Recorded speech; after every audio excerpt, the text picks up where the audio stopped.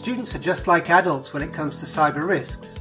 They too can become victims of online scams, encounter inappropriate content, or download programs that contain malicious software. Therefore, special attention should be paid to teaching students about online security. You can use the following topics as a guideline to develop your own lessons. They should to some extent touch on the following ideas. First, conduct an introductory class about how the internet works, its history, and how it might develop in the future. Discuss what devices can connect to the internet and what functions they perform. Talk about what services students can use for watching content, communicating, looking for information, or carrying out professional activities. Second, discuss the types of online scams that users may encounter online.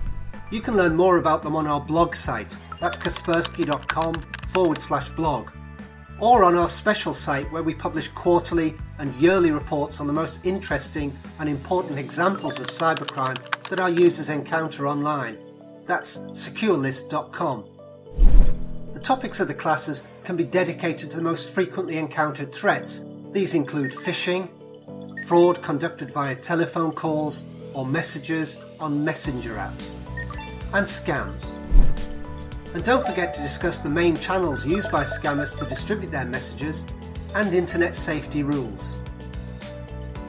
Third, talk about problems connected with cyberbullying. You should discuss what types of cyberbullying exist and the ways you can avoid becoming a victim.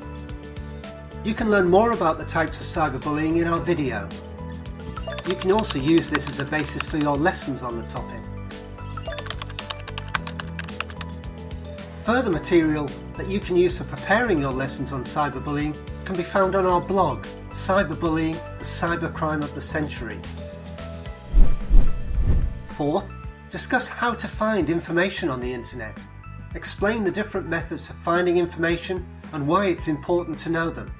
For example, it might be worth discussing the problems connected with fake news.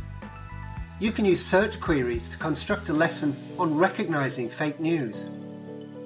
Pick a post published online and then do the following. Find information about the source through research or original news. Pay attention to the content of the post and not just the headline, since the authors often use clickbait headlines to attract the attention of users.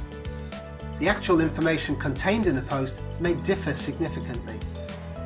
Look at the information contained in other posts by that author. Verify the accuracy of the news Maybe it's a repost of an older post.